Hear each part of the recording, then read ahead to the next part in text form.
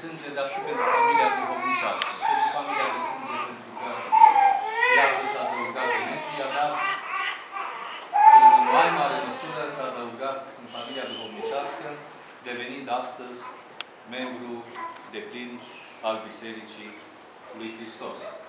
Acest prunc în care noi avem multă nădejde. Și nădejdea noastră are următorul suport.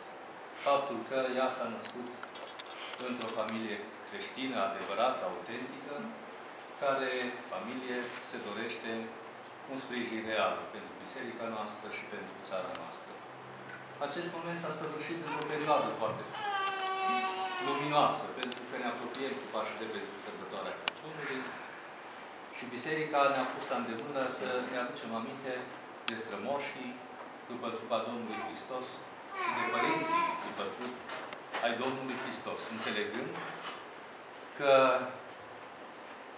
toți înaintașii Domnului Hristos, până la El, fiecare în parte, au avut un rost în împlinirea planului lui Dumnezeu. Acela ca la plinirea vremii să se nască Fiul lui Dumnezeu, Mântuitorul lumii, Fiul lui Dumnezeu întrupat. De aceea sunt pomeniți chiar cu numele. Veți vedea în ziua de mâine că vor fi pomenite mai multe rude de sânge a Mântuitorului Hristos, pentru că ele au fost implicate. Aceste persoane au fost implicate în această pregătire permanentă pentru venirea în lume a Fiului lui Dumnezeu. Prin consecință trebuie să înțelegem și noi că fiecare în parte am venit cu un rost pe acest, pe, pe acest pământ. Dacă ne-am născut într-un anume timp istoric, într-un anume loc, într-o anumită familie, o comunitate, nu este un lucru întâmplător. Sunt toate rânduite de Dumnezeu cu un anume rost. Acest rost, respectiv voia lui Dumnezeu, trebuie să o cunoaștem, astfel încât noi, într-o continuă devenire, să ajungem să ne împlinim rostul pentru care Dumnezeu ne-a adus din neființă la ființă. De aceea, responsabilitatea noastră este foarte mare. Nu doar în ce ne privește, ci în ceea ce privește întreag, întreg neamul omenesc, întreaga făptură. Și ziceam eu că avem această nădejde ca Demetria să se adauge la oamenii cu rost din această lume.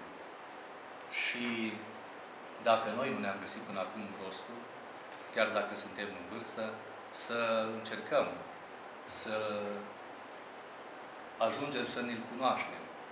Și rostul cel mai de seamă și cel mai important nu este altul decât asemănarea lui Dumnezeu. Noi, care suntem chipul slavei lui Dumnezeu, să devenim și asemenea Lui. Acest lucru nu se poate face decât în Biserica lui Hristos, prin Hristos.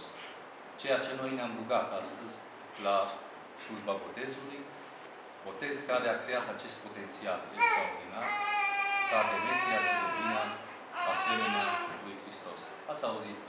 De fapt, atunci când am conjugat în horă Evanghelia și Cristenița, cât în Hristos ne-am botezat, în Hristos ne-am și îmbrăcat. Așa sunt. Amin. 何?